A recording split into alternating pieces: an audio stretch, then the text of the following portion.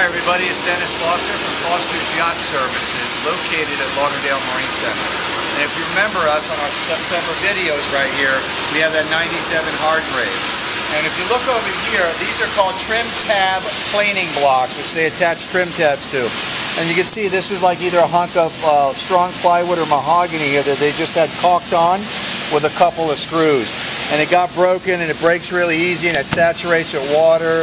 It starts to get delaminated here and the glass pulls off and it grows barnacles on it. So the way to fix these is you don't go back with a like kind material. What we use here is a Coosa board material that we glue two pieces together.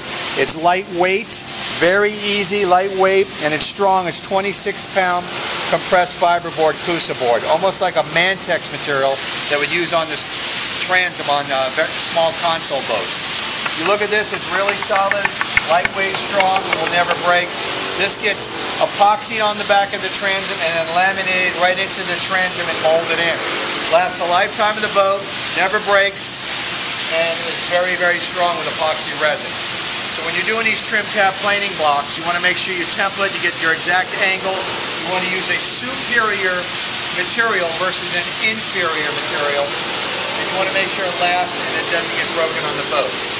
So, Dennis Foster for our September videos located at Lauderdale Marine Center, signing out.